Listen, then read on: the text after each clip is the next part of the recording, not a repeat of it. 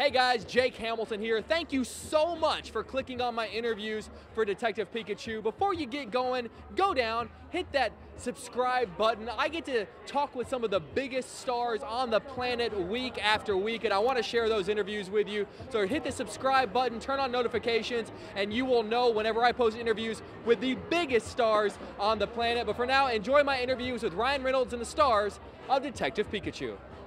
Ryan, good to see you again, my nice friend. See you too, Jake. Uh, the detective mystery genre of movies has always been one of my favorites growing up. It gave us everything from Maltese Falcon to, to Seven, which is one of my favorite movies. Yes. If you could see Detective Pikachu take on another famous cinematic mystery yeah. and try to solve it himself, which one would you like to see him sort of slipped Ooh, into? Ooh, uh, Detective Pikachu mixed with a little sort of that Raiders of the Lost Ark vibe. I like this. I could see him toe to toe with Indy just trying to find the, the Holy Grail, or yeah. I, I, could I could see this. I would like there should be like a little meter on the side of it, and it's just like Harrison Ford's patience, you know, on the side of the screen. How do you think go. he yeah. would make it to the end of I Raiders wonder, of the Lost Ark? I, I don't know. He's, I've met him a couple times. He's a very lovely man, Yeah. but I, I don't know. That seems that would that would be tough. Yeah. Yeah, I, I told him one time, I said, I'm, you know, I'm having a really hard time not geeking out with you, and he leaned in, And he goes, try harder. Yeah. Yeah. Get over it. Get over it. Yeah. Yeah. Oh, man. yeah. Yeah. Uh, one of my favorite scenes in the movie is actually when Justice meets Pikachu, and he doesn't really know. He kind of freaks out. He doesn't really know how to process Yeah. that moment. I would imagine people, when fans are walking around and they see you, most people never expect to see a celebrity really in their life. Yeah. What is the strangest, the weirdest, most memorable way a fan has responded when seeing you out in public? Oh, I mean, I've had all. I mean, you name it, it's happened. But I, I'll say this: like, it's just as weird for me when I see someone that's like a celebrity out in pub. Like when I see someone that I love and admire, or even someone I've just watched a lot, uh, just out in the wild. I'm always like, oh my god. Okay, what's the what's who's the, the person you've geeked out with the most? geeked out with the most? Uh, very, very. I was a very, very young man. I was about uh, 18 years old. It was my first month in Hollywood. I just moved to, to Los Angeles, and I got in an elevator with Johnny Cash. Oh my god. That was kind of cool. Oh and I my- was too young and, and, well, let's be honest, too dumb to really appreciate it at the moment. I was just like, oh, that's that old guy, Johnny Cash. Uh, and then it was later on I sort of grew. Uh, Did you shake his hand or did oh, you say, I yeah? just did numb nuts. I didn't say. You met I you were you were in the presence. I mean, when you're in an Yeah. elevator with Johnny Cash, you say hello. I don't care who you are. Yeah. You just do. Of course. Uh, and I didn't do that. so- Ah, well, hey, you know what? You got to see him. That's more than That's I could true. ever say. That is true. Uh, one of my favorite characters in cinematic history, you may be familiar, is a character named Deadpool. Oh, I know him. And Yes, the thing that I, the thing I love about well. Deadpool is that he is not shy about commenting on the filmography of Ryan Reynolds. Not at all. What do you think Deadpool would say about Detective Pikachu? Deadpool, what would he say about Detective Pikachu? Uh, He'd probably have a real problem with the the, the absolute lack of four letter words uh, in the movie. But overall, Deadpool's actually like a real softie. Yeah. Like Deadpool likes likes the soft stuff. I could see him you just know? weeping I- hard. yeah, I could see him just losing himself into an episode of My Little Pony. so I mean, I I think he would love Detective Pikachu. Well, you, you talk about how he would miss the, the absence of the four letter words. You've done sort of the more family friendly Deadpool and then redone them a little bit harder 10 years later. Yeah. 10 years from now, hard R, Hard Detective R, Pikachu. Detective Pikachu. I like that. What kind of movie is that? Whoa, it's uh, that's just that that that movie is something that I'm even afraid of at this point. Pokemon in the background's going, oh I god, this I know the Pokemon people right now are these these cameras are no longer. Yeah, rolling. yeah, they're, they're, They're they're, they're, how do we tell Jake that he's not getting this Yeah, interview when he comes back Jake out? go after his visit to New York? He just vanished. That was the last interview he ever did. yeah. Yeah. His cell phone says he's in the middle of the Pacific.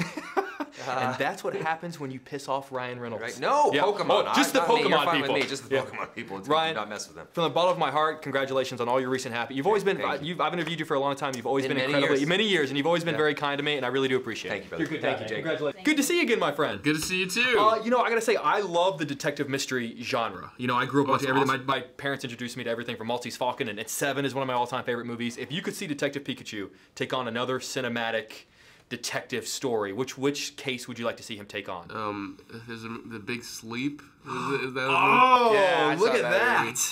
That or maybe um, I was gonna say Rear Window, but that's not like a detective movie. That's more like. But that's still kind of like a Yeah, mystery you could see him- thriller. yeah, you could see, like, suspense, yeah. like what's going on. He looks outside of his window. window, and yeah, like his tail's broken, so he's like, like he's like like up for like uh, like six months or something. There you go, yeah. Oh, see, this is gold that's happening in this Yeah. interview. Oh my god, I'd love to see the the crossovers. Yeah, Because we're- yeah. We exist in the crossover world right now, so we're just we're making it happen. Yeah. One of the best scenes in the movie is actually one of your scenes, and it's because of you. It's your the first time your character uh, meets Pikachu. Your reaction, your, your your inability to be able to sort of like process this moment and what's happening. I'm curious. You guys meet fans and fan, people who don't expect to meet celebrities out and about in public. The most interesting fan interaction you've had, the most interesting way a fan has like interacted or processed meeting you. Oh, one fan. This was years ago though. After I did the Get Down, um, one fan in New York um, was like, "Oh, I have to take a picture with you." I'm like, "Yeah, sure, man." And then he grabbed my arm and dragged me a block downtown, and I was by myself too. So I was just like, "I guess I'm going." You just let that happen? I, wa- I didn't know what to do. I was like, "I guess I'm oh. going with this person," but he literally just dragged me a block downtown, and then we took a picture, and then I was like, "Okay." What was downtown that wasn't where you guys? His were? friend who was waiting with the camera. I mean, it was the strangest thing. And You know like, that uh, they have them 670. on phones now. Yeah, I don't know. I just like my friend has my. I don't know what happened. I Between- just was like, I guess I'm going. This story, and then Kathryn was saying that there was someone that she has met in like three different countries. It is at the red car. It's been in like three different, like here, Oh. and then Toronto, and then in Tokyo. I've had a couple of those. Yeah, I just signed uh, someone's picture. Someone took a picture with me in Tokyo, and I just signed it in here in New York, like uh, yesterday. I mean, yeah. I mean, that's that's impressive. That's, cool. But is there any part of you that goes like, why are you also here? I definitely. I'm. I'm just like, how? How did you get here so fast? Yeah, yeah. that's where I. When I. Where my mind goes. Um, but if anything, I, I'm just like, that's the sweetest thing. It's, Like, it's, it's super impressive. See, Yeah. my, I say I'm a cynical newsman, and I, you know, and I, I work on like the, the news show all the time, so it's nothing usually nothing but hard hitting, you know, serious stories. I so I'm like, is this the beginning of a hard? Is this like a Dateline special? Yeah. it's about to happen. Um, you know, I you know, for a lot of people who grew up with Pokemon and Pikachu, the idea of going and solving a mystery with their childhood favorite character would be a dream come true. If you were going to solve a mystery with the childhood favorite character, the one you grew up with, who would you be roaming the streets with? Oh, well, I mean, I grew up with Pokemon, so this is definitely. I've always wanted a Pokemon partner. I've always wanted to. I mean, I feel like I'm living a lot of millennials' dream, and also young children. I Mm-hmm. Always forget that, like, kids are gonna see this movie too, Yeah. because I always just think me, and my friends. it's just us. Hey, yeah, yeah, exactly. Yeah, but um, We're like shoving kids while we do the Pokemon Go. Like, Yeah. we're like in the park in Chicago. We're like shoving little kids I see, aside. yes, Yeah. I see grown people just playing on the game all the time. People like, do you see like the news story? People were getting hit by cars because they they were looking at their phones. Co- yeah, the it's app nuts. is covered in all these warnings now. Yeah. And I, but I didn't. I wasn't playing it when that was all happening. So when I first got on it, I was just like, "Why are all these warnings about?" Obviously, I'm gonna look where I'm going. Yeah. I don't need all this. But um, This is right before he got grabbed don't- and then drug across New York City. Exactly. Yeah. hey man, you're a good guy, and I look forward to. It was a blast meeting you in Hawaii uh, a couple of months ago. And, You too, know, dude. Congratulations on everything. Thank you so yeah, much. Keep making great movies. It makes my life so much easier. yeah. I have always loved the detective mystery genre of movies. I mean, Yeah. everything from Maltese Falcon and Seven is one of my all-time favorite movies. If you could see Detective Pikachu and another famous like detective movie and have him try to solve the mystery, oh, what do you so want? when right before we started filming, I watched uh, Casablanca. Yes. Could you imagine? Oh, and then but him in black and white. yes. Oh my god. It would God. be beautiful. Oh. Maybe the sequel we go back in time. It's a I'm- period Just piece. like Warner Brothers. If you're not watching this right now, I mean, what this this is gold. Oh my God, I could totally see him like him and Humphrey together. Oh, I know. Oh, I would love that. It's gold. One of my favorite scenes actually in the movie is uh, the first time that Justice meets Pikachu and watching his reaction. It's one of those moments where like I love that he- It's so great because he doesn't really know how to process this moment, which I kind of equated to. I'd imagine when fans meet you guys. When people like see you guys on the street, most people never imagine they're gonna ever meet a celebrity. What is the most? I don't say weirdest, but the most interesting fan interaction that the you've ever had? The most interesting fan. Yeah. Well, last night I just met a girl who I had met at Toronto at TIFF for Ben Is Back premiere, and Mm-hmm. I met her in Japan for the Pokemon premiere, and then she was here last night at the Pokemon premiere. I thought that was that was amazing. What was she? I don't know, but I thought that was so cool. So I mean, there's there's plenty, but that was one that I thought was like that just happened. That's that's kind of okay. So I have a question for you then, and w- with all due respect to this young lady, is there a part of you that goes, "Wait, why are you in all these different places around the world where I also happen to be?" No, maybe she's just a traveler racking up so, the miles. so yeah, free those freaking flyer miles. She has got to be flying. That is insane. You know, uh, one of my all-time favorite movie characters is Deadpool. I know. And so, so I'm a big fan, and I one of the things I love about Deadpool is that he is not shy of talking about the filmography of Ryan Reynolds. Right. What would Deadpool say about Detective Pikachu? Oh man, did you ask Ryan yet? I did. Yeah. I what did, did, he ask him. say? What did Uh, he say? He said that it would be two things. He said that Deadpool would be upset that there weren't more four little words in this movie.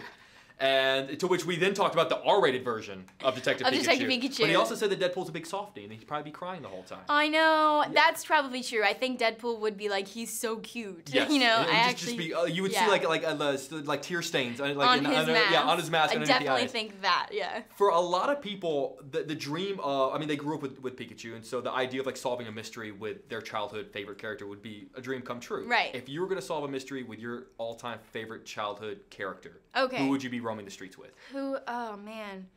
Well, I was gonna pick. I would. I would still pick Psyduck. I know. Oh, you'd, you'd stay within yeah, the Pokemon I would world. totally stick with Psyduck. so I you mean, grew up with, with. I grew up with Pokemon. Do you I was hate a fan. me that whenever I say that I didn't grow up with? no, that, of that- course not. no? But I also find it. You know, you know what it is. Mhm. It's just Yeah. like Oh, a yeah. big. It's You just a part it. of our lives. Yeah. That's how I feel. But um, no, I would still pick Psyduck. He's my guy. I look at you. I love that. You're so fun to talk to. Thank you. So, I look forward to talking to you many, many times. Oh, it was really nice to meet you. Nice to meet you. Thanks. I I'm glad you liked the movie. Very much so. So I gotta be honest with you. I did not grow up with Pokemon. All my friends were into it. It just wasn't something that really connected with me, and I love this movie. Oh, and I'd. I'd imagine when you're making a movie like this, you have to appease to both groups of people. Who takes a priority? The people who already love this stuff, or maybe someone like myself who kind of needs to be convinced as to why it's so great? Uh, I mean, in all honesty, the, the priority was to get the get it right for the fans, Mm-hmm. get it right for people who really care, grew up on it. I mean, it's been around for over 20 years. Uh, it's a worldwide phenomenon, so we wanted to get that right. And we worked very closely with the Pokemon Company and all the original creators to do that. But it's also uh, we we knew we wanted to use it as a way to open up uh, the world to the uninitiated like yourself, uh, and and hopefully introduce them to uh, Pokemon. And if not, it's still a great story, and it's still a movie uh, on its own, and and has a great character journey and amazing themes of hope and second chances and connection, and it, it works. It works by itself. A- Absolutely. And you know it's interesting? The general consensus amongst movie fans is that they're, the whole video game adaptation has been found wanting over the past few years, you could say. Why hasn't there been, I'd argue up to this point, a great video game adaptation? Why do they keep getting it wrong? And what did you do to get it right? I don't know. That's a tricky question. I'm not even gonna go there. I, I have no idea. Uh, I'm asking you, just, nor- just call out all other directors. I will never do that. Uh, by the way, we didn't even think about it like that. Mm-hmm. I certainly didn't. You know, they, they, I knew about Pokemon through my kids, Mm-hmm. and it's not just a video game. There's there's a huge storyline to it. There's this there's TV series. There's over 20 anime movies. There's like a Card game. card games. There's a real mythology. There's a real universe to it. So there's a lot of storytelling uh, at its roots. So we didn't we didn't have that problem as much because uh, when, when I came on board, Detective Pikachu, which is a video game that was in development in parallel, had a really strong central character and it had a nice human story to it. So. Uh, for us, it was just the adaptation of it was still kind of rooted in storytelling. which is why I think it succeeds the way it does. Obviously, I've always felt that the um, detective mystery genre of movies has always been one of my favorites. It's given us everything from Maltese Falcon all the way to Seven, which is one of my all-time favorite movies. If you could see Detective Kid-friendly Pikachu, kid, totally kid-friendly family film. Um, if you could see Detective Pikachu take on another famous cinematic detective story, which one would you like to see him try to solve? Another famous one Yeah. besides Seven. Besides, or could it be Seven? Him chasing John Doe. Listen, full disclosure, there is a. I mean, there is some Seven inspiration in there. This, is gonna be weird. Wait, don't I can't tell if you're being serious or not. I'm actually being serious. yes, please tell me about I don't this. know. Like, I hope I don't ruin anything. Uh, you've seen the movie, so there's a scene with Mr. Mime, which is an interrogation. Yeah. scene. When I originally pitched it, uh, I took a frame from Seven um, and uh, replaced. Uh, it's the, frame is Brad Pitt with his head down and the Mr. Mime and Pikachu next to him as a conceptual piece to pitch the Pokemon Company about doing a Mr. Mime interrogation scene. So Oh the seven thing is is there. It's totally inappropriate for kids, so I never bring it up. This You're the first person so ever talked happy. about it. Wait, so when you brought it up to the, the people at Poke, did they go, is that seven? The the president of the Pokemon Company came by and it was kind of showing him artwork of like you know the vision of what it could be, and uh, there was this frame grab from Seven, and Brad Pitt's got his head down, and we the the, the, the art department put Mr. Mime in there. We just that was the interrogation scene. That was the pitch. For Yes. Oh, that makes me so. You have no idea how happy that makes Okay, me. good. On that note, that gives me the Okay, wrap. good. Seriously, hey man, seriously, on behalf of a guy that genuinely didn't grow up with this stuff, thank you. An amazing film. Uh, man. thank you so Congratulations. much. sir. Thank you, thank Have a great day. You too. Thanks.